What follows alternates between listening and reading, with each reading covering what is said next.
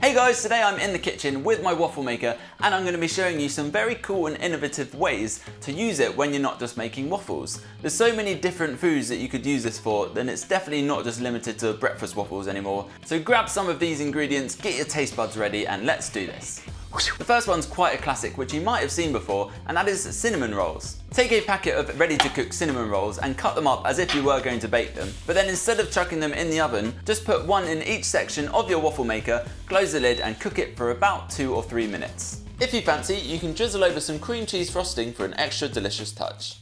After trying these hot fresh treats, you'll never want to eat cinnamon rolls the old way ever again.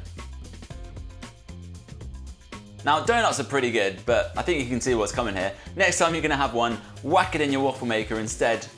And a few minutes later, it will be a hot, gooey piece of awesomeness that is 10 times better than what it was a few minutes before. Chocolate brownies! Gotta love them, but baking them in the oven is definitely for losers now, because you can chuck the mixture in your waffle maker. They'll cook pretty quick, will be crunchy on the outside, soft in the middle, and just the perfect brownie ever. Whack on a scoop of cold ice cream while the brownie is still warm, and you can't get much better than that. Personally, I really love paninis, but don't have a panini maker, and there's no way of making a panini at home unless you have a panini maker.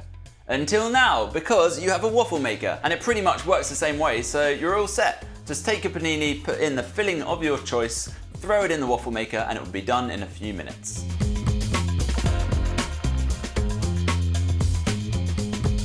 Mmm, looks good.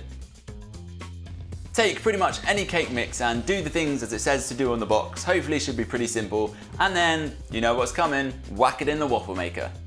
Within a few minutes, we'll have an awesome waffly cake waffle cake thing.